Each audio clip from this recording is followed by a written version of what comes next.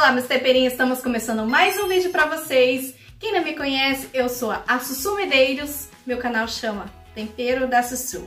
Bom, gente, hoje eu vim trazer pra vocês, bem rápido, bem prático e feito em panela de pressão.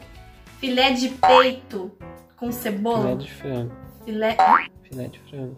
Filé de frango feito na panela de pressão com cebola, rápido e 10.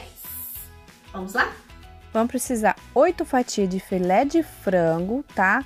É... Eu vou temperar com sachê sabor de massa, tá? E sal a gosto. Já tá temperado aqui, já preparei isso. E uma cebola média cortada. Vou explicar.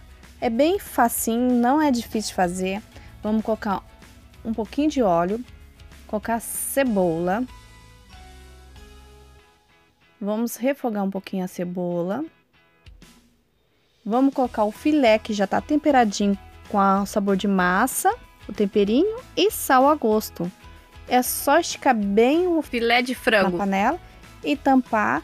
Leva de 7 a 10 minutos no fogo baixo. Olha que delícia, gente. Já está prontinho, douradinho, cozido, fritinho na cebola. Hum, isso fica bom demais, gente. Olha que maravilha.